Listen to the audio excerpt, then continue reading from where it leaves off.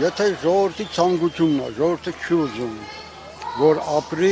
կամ գախտական լինի թուրքի լծի տակ։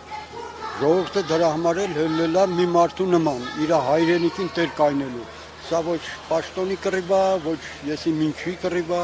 սա միայն հայրենիքի պաշտպանելու գործն է։ Մենք չենք ուզում գախտական դառնանք։ Զատո մեր papերը գախտական եղել են, բայց մենք չենք ուզում որ գախտական դառնանք։ Մեր հողը ամուր պետքա որ պահպանենք մեր հողը, թեկուզ արյան գնով մենք Թուրքիա հետ եղբայրություն չենք կարողանանք։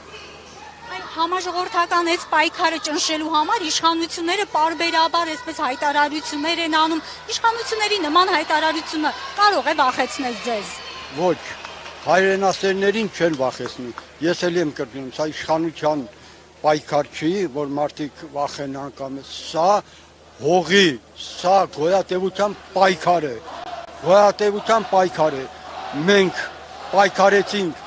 Ղարաբաղը վերցրինք, Շուշին ազատագրեցինք ամեն ինչ արին, բայց ասանք այսօրին։ Դա դավաճանություն է։ Դա չի կարելի։ Մեր սերունդները վաղ ինչ են ասելու, իմ թորները, մյուսները ինչ են ասի, բա դուք ինչ էիք, տայ կյանքները, որ պահեիք մեր նախնիները ոնց պահեցին։ Դա անհետությունն է։ Սա էլ եմ ասեմ, պաշտոնի կռիվ չի։ Սա մեր հայրենիքի պահելու ոնց ասեմ, ժողովրդի կամքն է։ Ժողովուրդը չի ուզում, գաղթական չի ուզում դառնա